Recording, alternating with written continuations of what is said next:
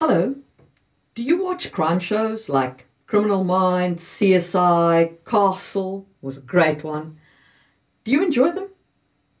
If you do, then you know that the appeal of law enforcement is a great element of writing today, both in, in all media, from film to TV to writing books. But how do you do that in a fantasy world? That's what I would like to talk about today law enforcement in a fantasy world. Welcome to another episode of Just in Time Worlds. How I'm going to break down today's topic is first I'm going to address some historical models from the from our real world history. I will talk about things like the tithing man model and I will talk about the state as a law enforcer. I'll briefly touch on the Roman model of law enforcement and I will address our modern law enforcement. Once we've taken a look at some of the historical models of law enforcement, I'll move on to how magic impacts law enforcement. And then finally, I will give you a flowchart to decide what kind of law enforcement model you would like to use in your fantasy world. What I'm not going to cover is the actual prosecution of criminals. So, how do you decide who's guilty? I'm not going to dis- I'm not going to cover criminal punishment, and I'm definitely not going to cover the creation of laws. The creation of laws is for my series on governments in fantasy, which I will get around to soon.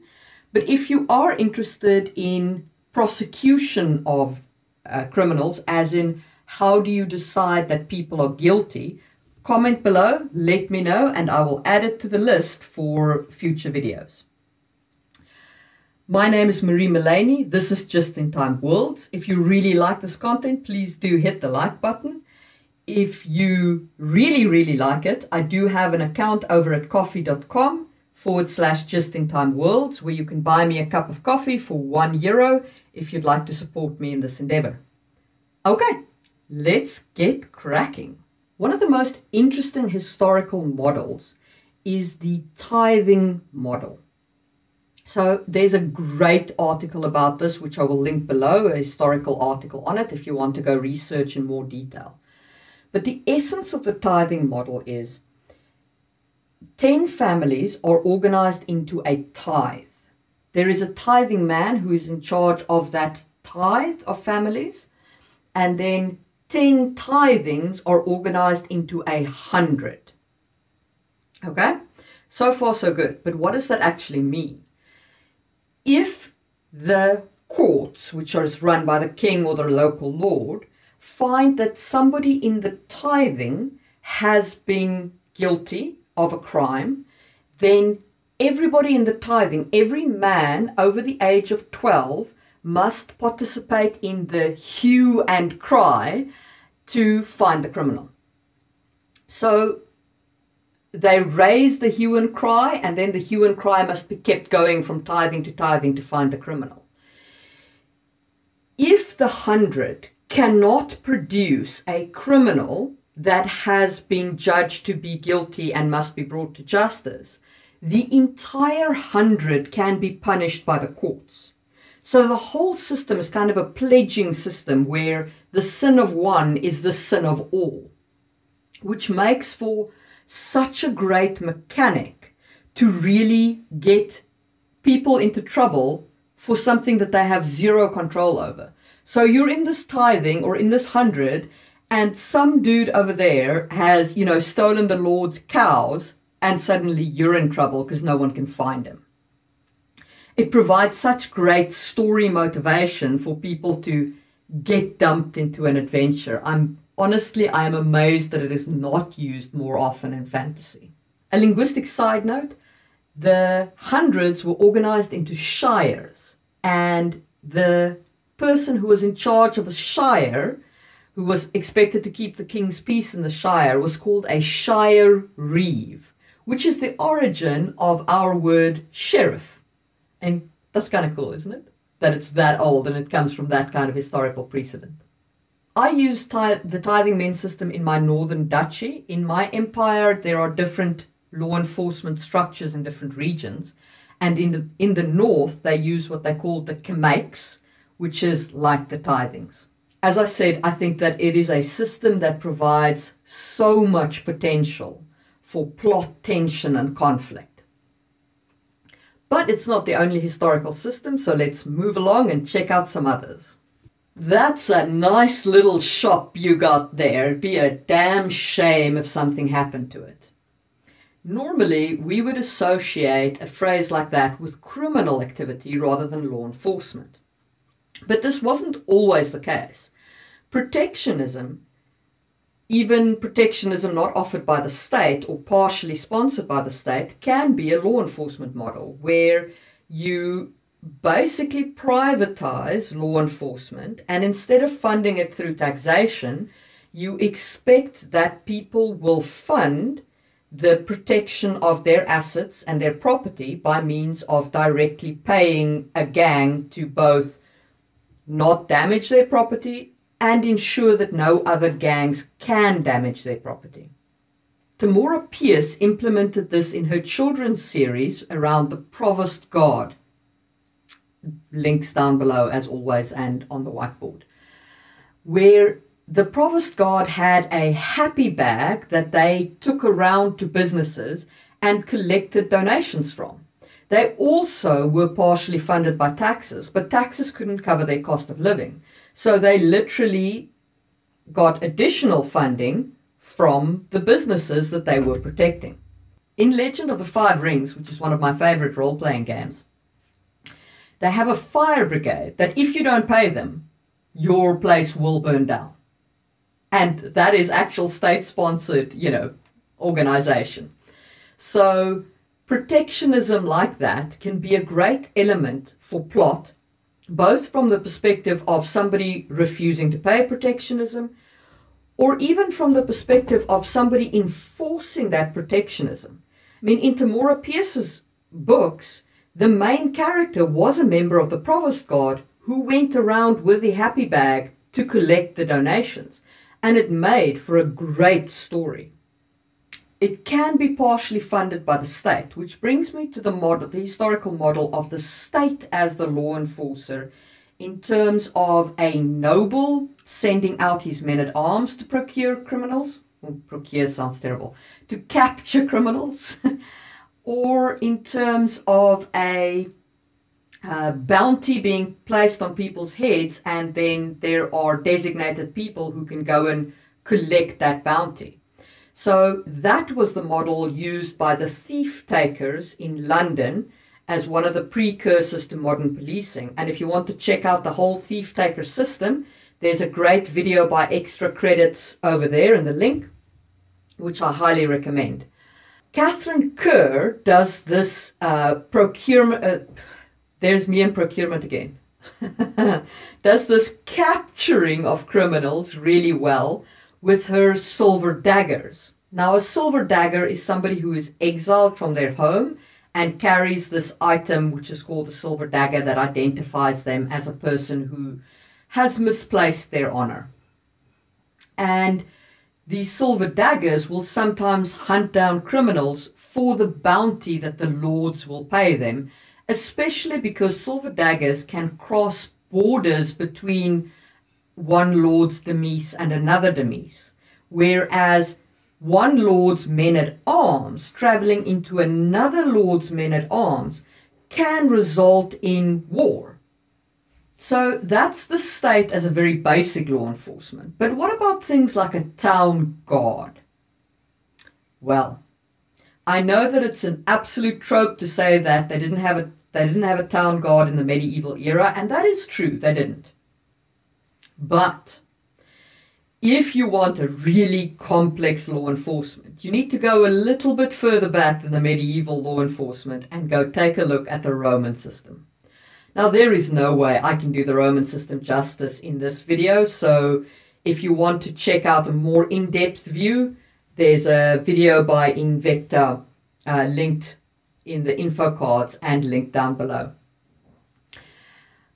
The Roman system was this amazing hodgepodge of law enforcements that were tied to the different positions in the Roman government, in the Roman Republic government. So the consul had their, had their gods. The other forms of magistrates had their gods. The tribunes had their gods. And they all enforced different portions of the law and had different jurisdiction and stepped over each other's toes and engaged in corruption and bribery on a scale we can barely comprehend. The whole system is so ready for corruption and tension and conflict that you can basically just pick it up and dump it into your fantasy world just like that and have this mess going on that is just glorious to observe. In the later Roman Empire, you had this organization called the Vigiles that were firemen and basically local neighborhood watch. And you had the cohort urbana, who was like the SWAT of their day. And then you had the Praetorian Guard, who, I mean, the Praetorian Guard, to give you an idea, auctioned off, literally auctioned off the role of emperor at one point. That is how powerful they were. So I made a short about Vigils over there, but honestly, like it cannot possibly do it justice. So if you want to use the Roman system, go take a look at the variety of, of resources around that. And it's a glorious mess. I took elements of it into my own world, into my law enforcement system, because it was just so, so pretty. Now, the Roman system reminds us a lot of the modern system, and let's briefly cover the modern law enforcement system. So, in a modern law enforcement system, it's basically a lot like the Roman, except that it is a lot more checks and balances. At least one hopes there's a lot more checks and balances and they're not auctioning off the emperorship. and the other big difference resides in how you gather evidence. In all the systems before the modern day and age, the emphasis was on personal testimony because you didn't really have that kind of forensic access. In today's day and age, obviously, with forensics available to you, that becomes a lot more of an investigative procedure and that informs your law enforcement quite strongly. That does start shading into the prosecution process, though, um, but it is a interesting element to explore if you want to bring that forensic element into your law enforcement. And that brings me to the impact that magic has on law enforcement.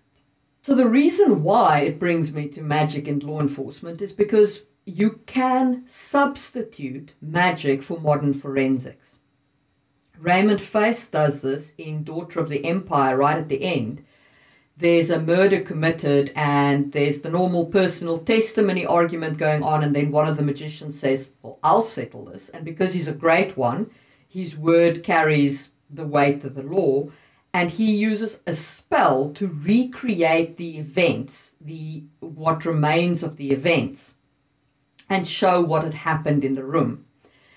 And that settled the argument of who was at fault in this particular uh, crime you can also look at having officers of the law of some sort with magic, or if you're using one of those, you know, bounty hunter systems, it could be a mage that is following the criminal by means of using magic. You can have modern forensics without having modern science by building your magic system so that it can enforce forensics. But that's not the only impact that magic has magic can also be a crime or it can help you commit crimes, either one of the two. In Harry Dresden, they use magic to create a drug called ThreeEye, which is a magical drug as well as being a drug and, can, and creates massive problems on the street. If you think about comic books, there's always this conflict of will the hero, you know, just walk into a bank vault and rob it with his special powers. So you can have magic influence your crimes that way. And of course, there's the very big problem of how do you contain a magician? So in Harry Dresden again, there is a situation where Harry leaves an illusion of himself sitting in a jail cell while he walks out. Know, how do you contain a mage? How do you punish a mage? So it is definitely worth exploring exactly how you handle magic and its impact on law enforcement in your fantasy world. Okay, so let's take a look at how you should pick a model.